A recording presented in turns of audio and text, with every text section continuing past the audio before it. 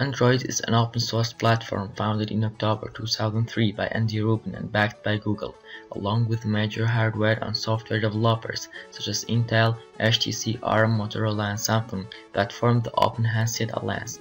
In October 2008, HTC released the HTC Dream, the first phone to use Android. The software suite included on the phone consists of integration with Google's proprietary applications such as Map, Calendar, and Gmail, and a full HTML web browser. Android supports the execution of native applications and third-party apps which are available via Google Play, which launched in October 2008 as Android Market. By Q 2010, Android became the best-selling smartphone platform. In 2007, Apple Inc. introduces the iPhone, one of the first smartphones to use a multi-touch interface. The iPhone was notable for its use of large touchscreen for direct finger input as its main means of interaction, instead of stylus keyboard or keypad as typical for smartphones at the time. In July 2008, Apple introduced its second generation iPhone with a much lower list price and 3G support. Simultaneously, they introduced the App Store, which allowed any iPhone to install third-party native applications. Few therein offer 500 applications at launch, at launch. The App Store eventually achieved 1 billion downloads at the first year and 15 billion downloads by 2011. In February 2010, Microsoft unveiled Windows Phone 7 with a user interface inspired by Google's Metro design language to replace Windows Mobile. Windows Phone 7 integrates with Microsoft services such as Microsoft SkyDrive, Office, Xbox, and Bing, as well as non-Microsoft services such as Facebook, Twitter, and Google accounts. This software platform runs the Microsoft mobile smartphones and has received some positive receptions from the technology press and been praised for its uniqueness and differentiation. Firefox OS, originally called the Boot2Gecko project, was demonstrated by Mozilla in February 2012. It was designed to have a complete community-based alternative system for mobile devices using open standards and HTML5 applications. The first commercially available for Firefox OS phones were ZTE, Open and Alcatel One Touch Fire. As of 2000 Fourteen more companies have partnered with Mozilla including Panasonic, which is making a smart TV with Firefox OS and Sign. The Sailfish OS is based on the Linux kernel and Mer. Additionally, Sailfish OS includes a partial or completely proprietary multitasking user interface programmed by Jolla.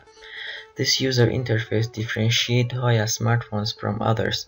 Sailfish OS is intended to be a system made by many of the MeeGo team, which left Nokia to form Jolla, utilizing funding from Nokia's Bridge program, which helps establish and support startup companies formed by ex-Nokia employees.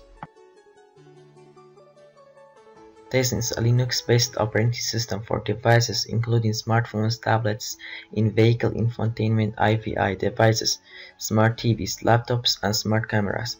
Tizen is a project within the Linux Foundation and is governed by Technical Steering Group TSG, composed of Samsung, Intel, among others.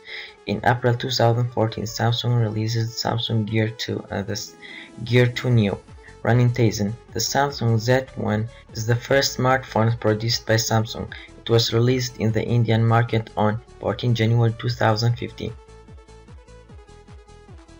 Ubuntu Touch, also known as Ubuntu Phone, is a mobile version of Ubuntu operating system developed by Canonical UK Ltd and Ubuntu Community. It is designed primarily for touchscreen mobile devices such as smartphones and tablet computers. In 1999, RIM released its first BlackBerry devices, providing secure real-time push email communications on wireless devices. Services such as BlackBerry Messenger provide the integration of all communication into a single box. There are 8 million active BlackBerry service subscribers and the 200 millionth BlackBerry smartphone was shipped in September 2012. Most recently, RIM is has undergone a platform transition, changing its name to BlackBerry and marketing new devices on a new platform named BlackBerry 10. Symbian was originally developed by Psion as EPOC32. It was the world's most widely used smartphone operating system until Q4 2010, though the platform never gained popularity or widespread awareness in the US as it did in Europe and Asia. The first Symbian phone, the touchscreen Ericsson R318 smartphone, was released in 2000 and was the first device marketed as a smartphone. It combined a PDA with mobile phone. In February 2011, Nokia announced that it would replace Symbian with the Windows Phone as the operating system of all its future smartphones, with the platform getting abandoned throughout the following few years.